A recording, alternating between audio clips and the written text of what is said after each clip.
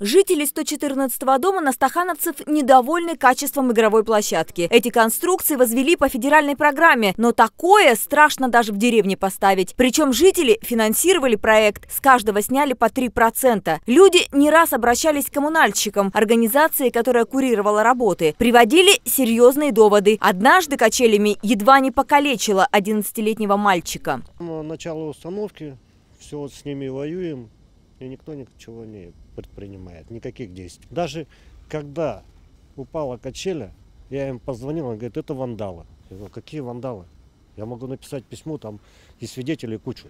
Первую жалобу жители направили в ноябре 2020 года. После несчастного случая пожаловались еще раз. Качели демонтировали и в конце декабря установили снова. Причем просто поставили на землю, без дополнительных креплений. После обращения в ОНФ качели убрали снова.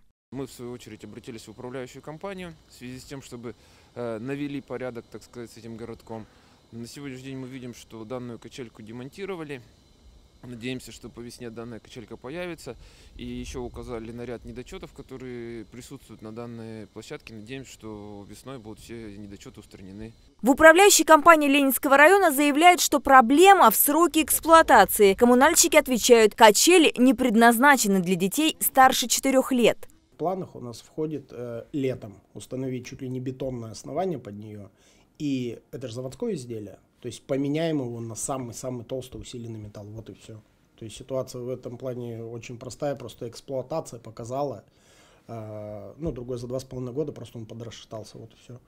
Гарантийный срок игровой площадки – три года, но в случае поломки конструкции жители в любом случае могут обратиться в управляющую компанию. Это по закону. Как будет на деле – неясно. Елена Лебедева, Венера Каримова, Сергей Олейник, 31 канал.